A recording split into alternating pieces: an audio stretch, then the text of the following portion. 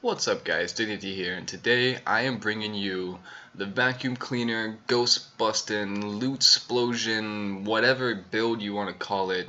I am going to show you start to finish how to set this up for yourself, get going in your own maps, and um, pretty much farm the most amount of loot in a single map that I have ever seen. So it doesn't matter how much quantity you put on it at this point, um, farming maps with this method is just ridiculous as far as the loot generation. So especially if you're able to do it in like 75 plus maps, I'm pretty sure your Regal generation is absolutely out of this world. Um, so I can't really claim credit for the mechanics behind how to do this. Um, I can only claim credit for my own variation of my Cycloner, which is an extremely low budget version of um, the Cycloner and uh, how to suck the mobs up. But the, the premise is um, that you will create a Cycloner that has very high block, and use life gain on hit on everything that you possibly can to spin to win as much as possible and instead of uh, knocking enemies back you will use knockback and the fending cluster as well as knockback jewels to suck the enemies in with the Empire's Grasp reverse knockback gloves. You will apply Torment to your map before you even get started and this will put a guarantee of at least three ghosts in your map and you'll spin to win straight through whatever map you're in and gather as many mobs as possible to uh, basically uh, collide with a ghost and have the ghost tag all of those mobs. Now your Cycloner has a few criteria one being nearly 100% knockback if not 100%. This will ensure that all the mobs uh, remain uh, like close to you and pulled by you and you don't have too many stragglers uh, that you drop as you spin through your map. Um, two, it needs very high block, and this can be achieved through um, the rich version, which is Bringer of Rain and Aegis Aurora.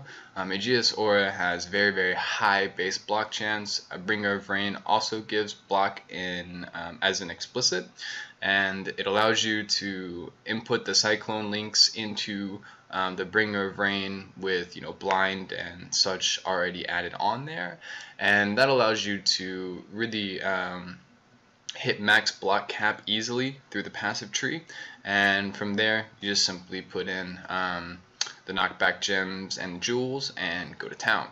My version, however, I needed to make with a shadow, which is not really the ideal way to go. I just did not want to respec and relevel just for this, or relevel completely for, for this, so I just re respect it. Um, but I did spend about an exalt and some change to uh, to respec my tree. I made a pretty decent um, tree so far. It works. Um, it's not the most optimized. However, once we get in here and we and you see this, you're gonna be like, holy moly, what have I been doing and why have I not been doing this the entire time? Um, so I do have a map prepared and we'll go ahead and we'll jump over um, to the Cycloner. But that's like the first step is getting the Cycloner up and running and pulling all the mobs in through ghosts. And the second half of that is having a magic finder ready to go to go back through and kill all these mobs. So you get the benefit of increased item rarity and increased item quantity if you can.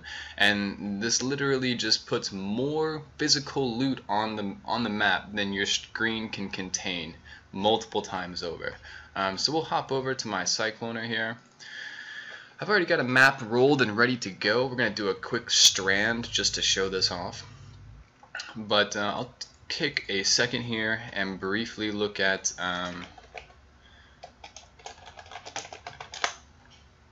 what my gear has right now. So I'm using an Aurumvorax just to um, have the additional range that a one-handed sword does as far as our Cyclone range. It does give a little bit of life gain on hit, which is kind of nice because you'll be hitting dozens and dozens and dozens of enemies at the same time. I'm using Empire's Grasp, and in that I have linked um, Reckoning, Vengeance, and Riposte to life gain on hit. Now all of these are also supported, gems or socketed gems are supported by level 10 knockback, which is okay. Um, level 10 knockback, knockback was not going to be 100%, but it's still going to be very nice. It's going to keep mobs, uh, stragglers, potentially closer to you, but more than anything, it's going to be giving you a ton of life gain on hit from all of these triggers happening all the time. So my main links here are in a nice uh, 6 link, but if you use Bringer of Rain, then you don't have to worry about this. But I use Cyclone, faster attacks, and blind, with increased area of effect, life gain on hit, and knockback. Now the important thing is having knockback around level 19 or 20 with 20 quality. This gives you the maximum amount of chance to knock back per hit. And you want this to be very high at its base. If we look here at um, Cyclone, our chance to knock back right now is 96%. So if we have 100 mobs grouped up, then 4 of them every time we attack are potentially going to be lost and, and, and fall out of the pull cycle that we have. I use the uh, front door shield, Lioneye's Remorse, for the maximum amount of armor, the high life. The movement speed penalty is actually not that bad because uh, cycloning slower is a little bit easier to keep the mobs with you. However, um, there are definitely much better shields like Aegis Aurora that would be able to go in this place. This is just pretty much something I had in my stash and, and it made the most logical sense as far as armor and life um, because we're going to be taking a ton of hits. You'll see my character's health bar yo-yo like a roller coaster. Um, so it is important, I think, to have at least very high armor or very high defense at base block chance coming off your shield. The next thing that we have is the anvil. Now this would normally be a pretty terrible itemization for just about every build, even if you're going for max block, it's really not ideal. However, um, with this, you gain a ton of life and mana whenever you do block. And if you check out our defensive tab, our block chance is 45% right now. Um, so because of the 45% chance to block, we're going to be generating a lot of mana and a lot of life from all, you know, if 100 mobs are hitting us all at the same time, 45 of them are going to be blocked. Um, so in addition to that, it also raises the maximum block chance. It reduces our movement speed, which helps us slow down and keep the mobs with us. So all around, it's a really nice fit. Um, I'm using just a really high, um, like life sheet, or not life, but life helmet here with some resistances. But you could easily use the Bringer of Rain, and then you wouldn't have to worry about a chest piece. I'm using max movement speed boots to counter all of this stuff because I do want to move rather quickly. Um, the most important thing I think that's in this build right now is this one chaos belt called Dyadian Dawn. Now if you do not use this belt, you are forced to use something like Ancestral Bond. The reason that you have to use either Dyadian Dawn or Ancestral Bond is you do not deal damage with skills yourself, and in this one you deal no physical damage. So because of this, you won't actually kill any of the mobs that you're sucking up around the map you'll just pull them and deal very, very little um, amounts of damage from any sort of elemental damage that you might have on your gear. Um, I don't think I really have any, um, so we don't really actually deal damage at all. The um, important things to grab, things like this Amplify cluster to help give you area of effect radius, and more important than anything is to grab jewels with chance to knock back on hit. Now because I have, I think, five jewels total that have chance to knock back on hit, and one jewel that has mana gained for each enemy um, hit by my attacks, I'm able to achieve 96, or if they were all, if all of these guys, like there's a 4% knockbacker, and this guy right here is a 4% knockbacker. If those were just 6% knockbackers, then we would have a 100% chance, and we wouldn't really drop any mobs at all. However, we uh, I'm not too like worried about min-maxing that just for this purposes. I just kind of want to show you this. Um, so you can see my tree down here includes the Fending cluster. It includes some life. We path through a life uh, wheel, but I'm not very high level, um, so I have really no interest. This is like a level 75 character that I respect, so I have really no interest in filling this right now. Um, we did get a little bit of armor scaling get a little bit of uh, more armor scaling through here and some life on our way to the amplify cluster we pick up command of steel we pick up Defiance, and this is to help us achieve a higher block rate. Um, we pick up the Master of the Arena for the melee weapon range, and we pick up the Art of the Gladiator to help remove the um, like movement penalty for wearing a chest, etc. Now the other thing that's important to pick up is Iron Reflexes because we will be running Grace. Other than that, um, this is just a typical Shadow start.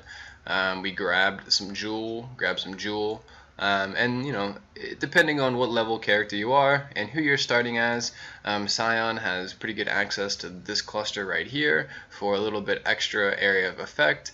Could even potentially, I guess, start this as a witch. I don't think it's really ideal, but you could.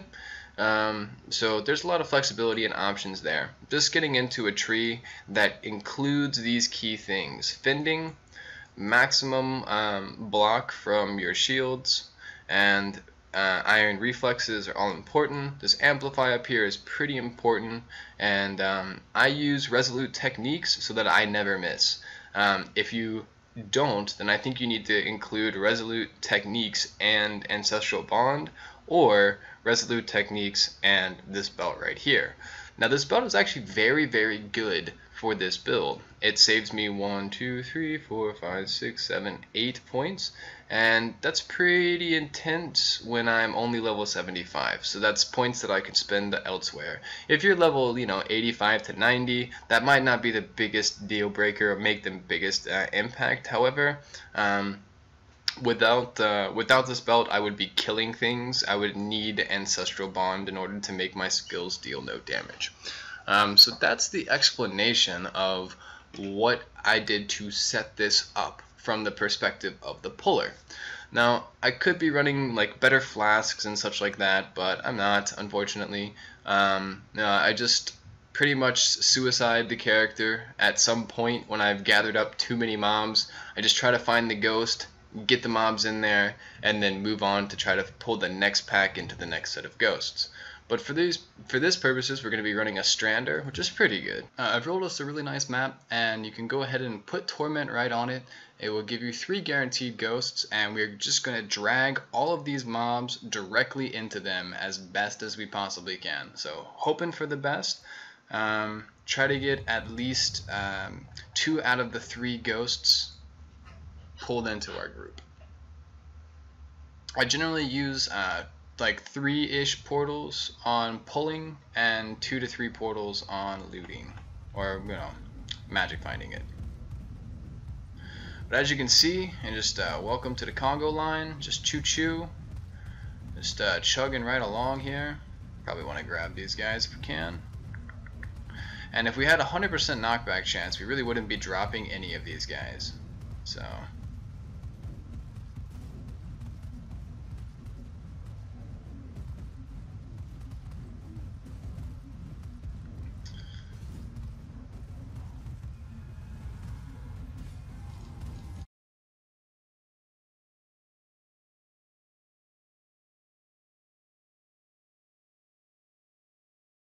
Alright, so the sea witches are definitely giving us a problem. Even with the Alpha's Howl, uh, we're struggling. I actually, when I played through this video the first time and I was actually in the map, I was cursing so much at these sea witches that I just said, okay, maybe maybe I'll just delete this part of the audio and uh, I'll give you guys something that is like PG. so I've died here and I'm really frustrated because I am wearing an Alpha's Howl, but the problem is the Sea Witches stack a debuff on you um, that slows you down. So even though you're in the middle of cycloning, you're okay until the cyclone ends and then all of a sudden you get frozen. Um, so my first plan of attack here is to continue to do what I'm doing, but avoid the sea witches. And that kinda works a little bit. Like I just, I say screw that pack over there. Um, I continue to progress through here, and I basically, from this point forward, do my best to not pick up any sea witches. Now the problem is, if we would have gotten that pack that I just died at before a little closer, then we would have totally made it worth it. If, if we could have landed that pack into that ghost, that would have been fine. That would have been perfect. Unfortunately, we got stopped short, And here I'm getting pretty frustrated because we only have one Sea Witch. This is one Sea Witch basically locking us down and especially the moment that the cyclone ends we end up in a little bit of a like tricky situation um, so these guys make it pretty far before I end up uh, you know sadly dying again. it is unfortunate that the sea witches rolled on this ma uh, on this pack, and you would need immunity to both chill and freeze um, before you could probably do sea witches effectively. Maybe with like higher max block. I don't know. Maybe that would have something to do with it. But at this point, I should have just let them go. Uh, but you can see me like doing my best to try to like get around them. And uh, you know unfortunately i'm just sucking up as many sea witches as i'm avoiding at this point. So when they stack that freeze debuff up on you the slow chill one you just eventually get uh, completely locked down. When the cyclone animation ends you can't cyclone again um, so it does lock you up. And here I'm, I'm really, really frustrated. Um, you know, it's 8 chaos to start the map up. Uh, you know, in addition to the 4 chisels and whatever scour aux you spend on it.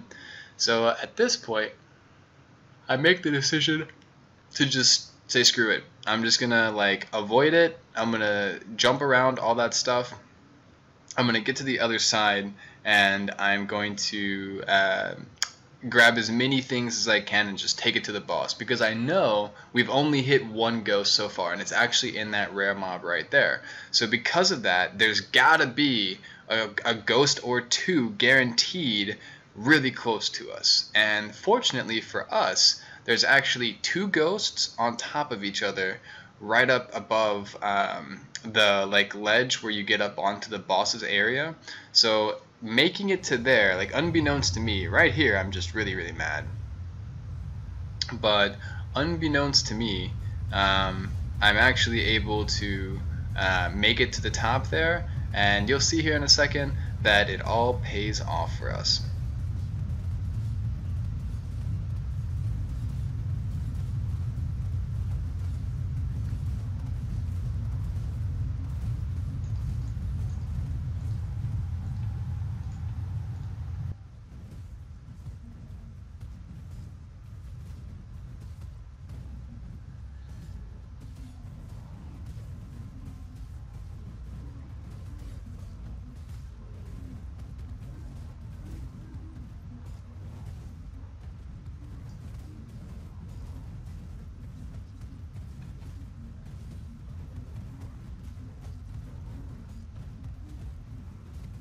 Well, there's got to be a ghost up here.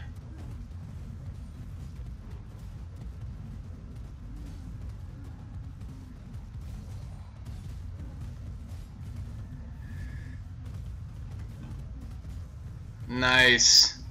Nice. Alright, you see how these are like double touched? Mutilators touch, cannibals touch? I think that just made up for all of the shittiness from the Sea Witches before. Fucking A. Alright, well, this is ideally what you're looking for, and um, let's hope that we can basically use these three portals. we're there at the end, you know what I mean? That was all three ghosts. Um, so hopefully we can use these three portals and uh, and magic find the shit out of these guys. Ah, okay, that makes me feel so much better. I was I was frustrated, man. I was frustrated, and uh, and I think that just made up for all of it.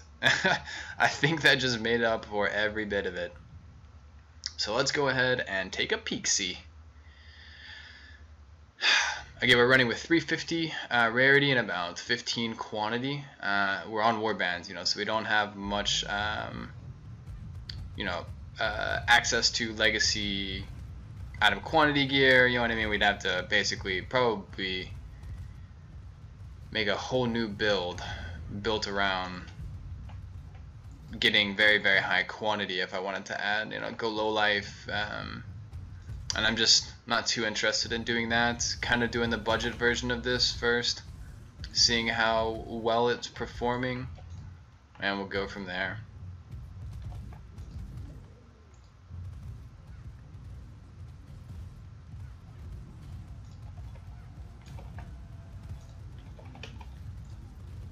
Oh, now this will spawn Beyonders. Need to be quite careful.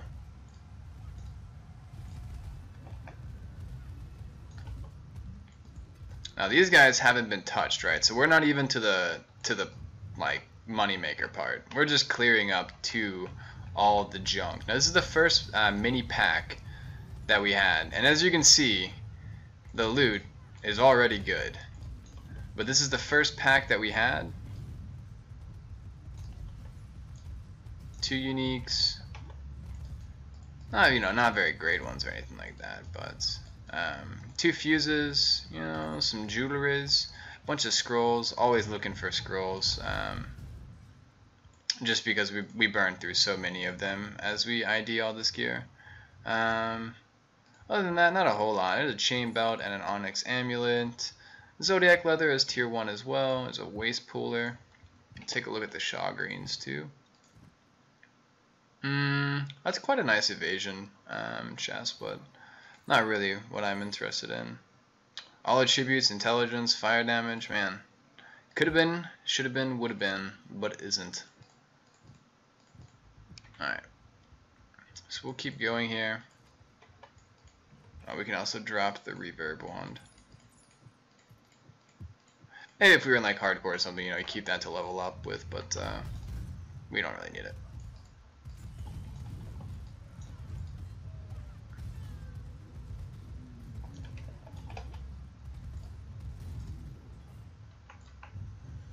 Alright, so what we're really looking for is that big ass group at the end. That is going to be our money maker.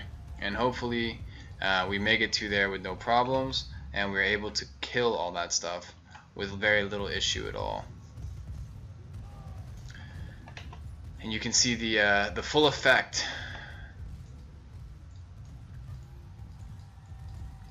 know, we're making a little bit of money on our way there, so that's really nice to pad the cost. Again, it does cost 8 chaos, 4 chisels, and however many, um, you know, scour alks or chaos that you spend on the map itself. So...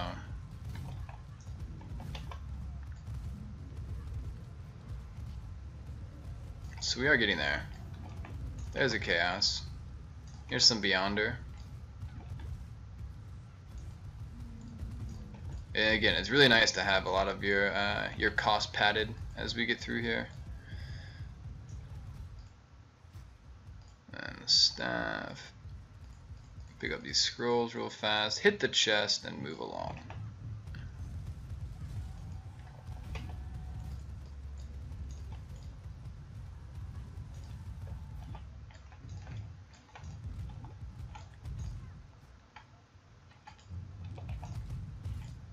Know about you guys, but I am stoked to see what we get out of this big pile at the end. You know, even if we get nothing, it's just really fun.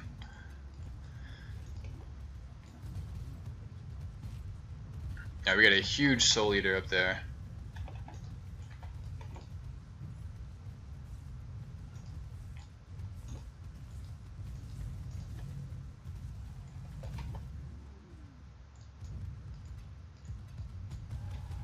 Definitely didn't want that guy to be hitting on us at all. No thank you, don't swing that way. No, silence OP. Unfortunate on the Sea Witches roll on here, but here we go, here we go.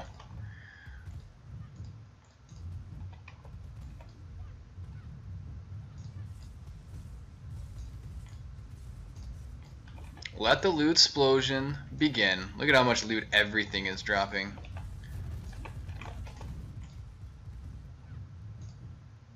Look at that. And that's just like the first initial, like we didn't even get the full, there's the rest of it.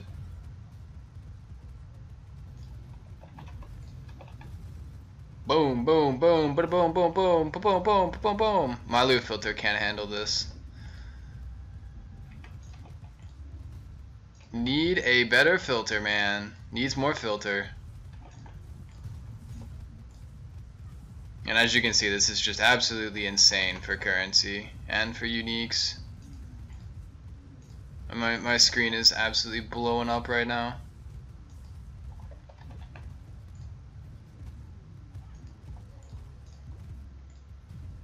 And there's still more. There's still so much more.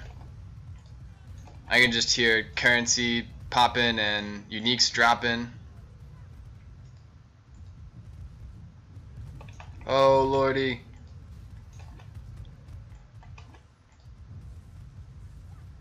Beyond was such a good call. Since we stack up so much stuff, Beyond is really, really nice. I'm just gonna have to turn this off for a bit, and uh, we'll we'll get the whole spectrum later.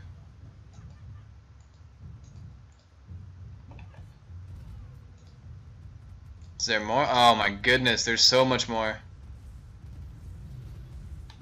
I'm hearing orbs and uniques and chisels and just everything, man.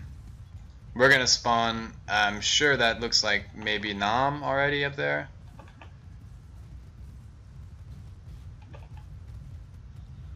Look how much beyond.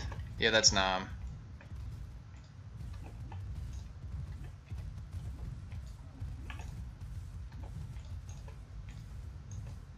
There was another unique or something.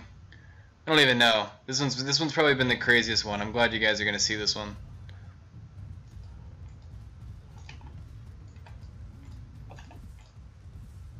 Holy moly. It just keeps coming. When you think that you're done. Holy Jesus. I'm afraid to turn my like loot filter back on uh, just showing like from just for showing loot because this is so nuts. I have no idea where the actual mob is that has uh, allies cannot die either. So that's not helpful. Oh there it is. It's that bug. Alright nice. Come here bug. Yeah but you can see every oh it's got inner treasure too. Man how thoughtful. And you can just hear the currency dropping left and right but everything uh, is like double, you know, um, double ghosted. Is that it? I think that's it. I think, oh, no, almost. Alright guys, y'all ready for the grand reveal?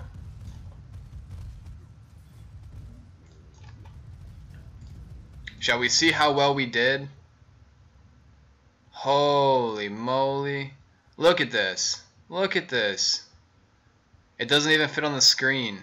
Oh, what is this? What is it? Look at this. Look at this. So many uniques. So much rare gear. I don't even know where to begin.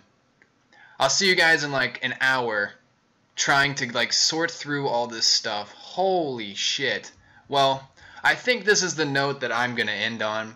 Um, we've we managed to get a really really good one here.